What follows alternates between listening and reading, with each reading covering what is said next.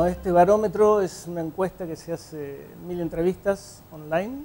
Eh, la venimos haciendo desde hace cinco años, desde que empezamos esta campaña en los medios de concientización para combatir el comercio ilegal de cigarrillos. Eh, y la verdad que nos vas dando una foto de cómo la gente va percibiendo el comercio ilegal de cigarrillos. Ajá. ¿Y, qué datos eh, podemos mencionar como significativos y relevantes? Para mí uno de los más importantes es que hoy por hoy 8 de cada 10 personas relacionan el comercio ilegal y están muy preocupadas por las conexiones con el crimen organizado. Eh, cuando uno mira el volumen de cigarrillos que se mueve y si lo pone en dinero, la verdad que ya no es un tema de un pasero, o sea, se dan cuenta de que hay grupos y mafias que están detrás de esto y eh, esto sirve como financiamiento para otros delitos complejos, como es la trata o como es eh, el narcotráfico. Claro. Charlábamos eh, fuera de micrófono, fuera de cámaras. Eh, uno presupone que el grueso de lo que ingresa al país por distintas fronteras se destina al conurbano bonaerense y a esa zona de consumo, pero me explicabas que no, que buena parte de este eh, contrabando de cigarrillos queda en la región, queda en las fronteras. Así es, mira, yo he trabajado en la industria durante más de casi 40 años, 39 años, y siempre recuerdo que en los 80 eh, Buenos Aires estaba atestado, o sea, los niveles de contrabando de cigarrillos eran del 20%. Desde hace ya varios años que el nivel de contrabando de cigarrillos a nivel país es bajo. Y cuando digo bajo es niveles por debajo del 5%. Eh, entonces cuando vos me decís dónde llega, yo te diría que últimamente, y la tendencia de hace ya varios años, es que se concentran en el NEA principalmente, por la situación fronteriza. Y esto también se debe a el incremento de incautaciones que se viene llevando desde los últimos años y el gran trabajo que está haciendo el Ministerio de Seguridad. Y estos números se van reflejados, o sea, en el 2016 las incautaciones de cigarrillos fueron de 65 millones de unidades. Claro. 2017 101 millones de unidades.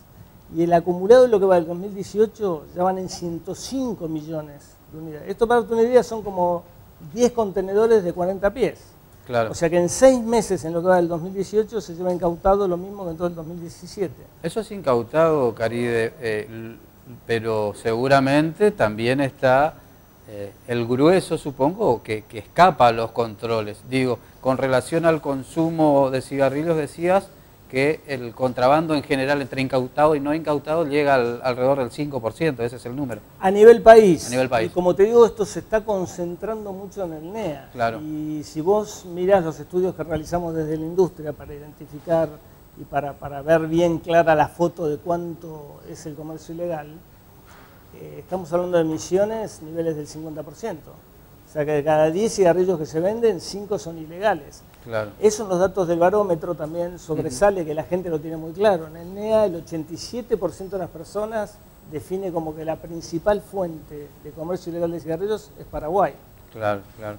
Y esto genera también eh, un impacto económico, digo, más allá eh, de lo preocupante que es el financiamiento de actividades delictivas, el impacto económico, se dejan de cobrar impuestos, como el caso del impuesto a los cigarrillos y demás. Así es, vos tocas un punto importante y si uno mira las causas, bueno, no es muy difícil adivinar por qué pasa. O sea, Argentina tiene una carga fiscal en cigarrillos de arriba del 80% de precio de venta público. Paraguay nos llega al 15%, o sea, 80 contra 15. Entonces yo siempre lo digo, si uno acá compra un paquete de una marca líder, un, un atado de cigarrillos de una marca líder, cruza la frontera, toma el tren y compra 10 paquetes de una marca paraguaya, un cartón, el precio de un paquete. Entonces lo hace muy difícil. Por eso es tan importante, y ahí te quiero rescatar y quiero hacer hincapié. Eh, nosotros hace un año firmamos un acuerdo de entendimiento entre el Ministerio de Seguridad, el Ministerio de Justicia, CAME y la Asociación Antipiratería. Este, este es un acuerdo de cooperación y estamos trabajando mancomunadamente desde hace ya un año con reuniones mensuales. Hicimos un planeamiento estratégico donde fijamos objetivos, y esta es la mejor expresión que yo he visto en muchos años de interactuar entre el sector público y el sector privado. Un ejemplo es esta campaña que ahora tenemos en los medios aquí en el NEA. Y la campaña es una campaña de prevención que hace hincapié en, el contrabando básicamente y en el crimen organizado. O sea, eh, esta campaña está avalada y lleva el logo de Presidencia de la Nación. O sea, eso costó muchos años lograr que un gobierno eh, realmente diera su apoyo a combatir el comercio ilegal. Y este lo está haciendo, y muy bien, ¿no?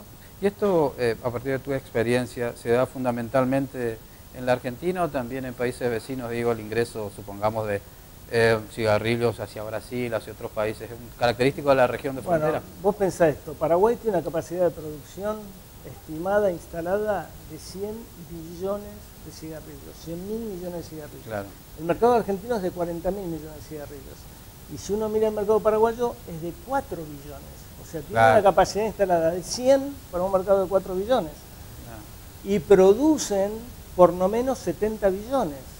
Entonces, ¿qué pasa? Es tan bajo el impuesto que conviene que lo paguen, pagan el impuesto, el producto es legal adentro de Paraguay, pero nada impide que hagan ventas exorbitantes a mayoristas de frontera principalmente y que esto salga para afuera.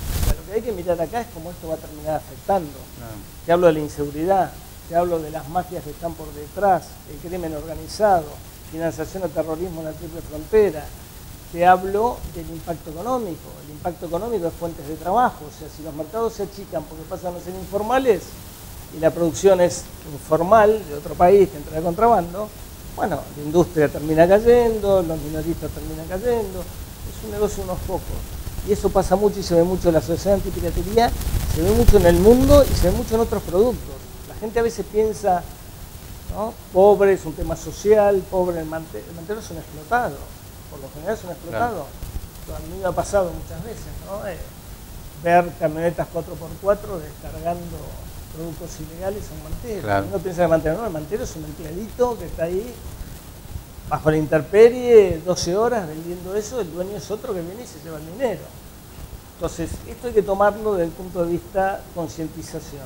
Y yo siempre digo, eh, con esta mesa que hemos formado, estamos haciendo capacitaciones, hemos hecho una eh, en hemos hecho una en Formosa, ahora el 20 de septiembre vamos a hacer una en Iguazú, antes de fin de año probablemente hagamos una en Posadas. Y cuando uno habla de capacitación es muy importante capacitar a las fuerzas de seguridad, al Poder Judicial también, que entiendan muy bien cuáles son los efectos de esto. Por eso es importante la destrucción de la mercadería, pues si no la mercadería termina volviendo a circuito, se remata por dos pesos. ¿Y quién compra lo que se remata? Los malos, los mismos que lo produjeron lo trajeron. Por dos pesos lo compran y te lo vuelven a meter. Por eso hay que hacer mucho hincapié, tenemos que trabajar a través de la mesa en lograr destrucciones más rápidas. Eh, yo creo que vamos por el buen camino, vamos por el buen camino. Porque además tenés otro problema, que es la infraestructura. O sea, se está incautando tanto que los depósitos están abarrotados. Yo te repito, en mis años que tengo en esto, hace muchos años que soy, era vicepresidente de la Asociación Antipiratería, después pasé a ser presidente, soy presidente de la Comisión de, Productos Ilegales contra Productos Ilegales de la, de la Cámara del Tabaco. Nunca en mi vida vi tanta actividad en el combate y lo ves en todos, y lo ves en Buenos Aires también, con el tema de los manteros que invaden Avellaneda. Claro. Bueno, hay mucha concientización en defender la fuente de trabajo, y eso es lo que yo estoy rescatando de, este gobierno, ¿no? de esta administración, que están realmente poniendo mucho hincapié en combatir el contrabando. Muy bien, Enrique Caribe, muchas gracias por estos conceptos, eh, interesante el tema, y bueno, también agradecemos eh, eh, la provisión del material y todos estos datos que son reveladores, saber que en esta parte del país estamos con el 50% del consumo de cigarrillos ingresados ilegalmente, realmente preocupa y bueno, es, es una buena oportunidad para dar a conocer. Y fíjate la gente, cuando lo leas en detenimiento el estudio del barómetro, al final del 2017, el 85% de las personas apoya que se le den más recursos a las fuerzas de seguridad. O sea que están viendo el tema de inseguridad también, ¿no? Porque combatir el comercio ilegal es combatir la inseguridad también.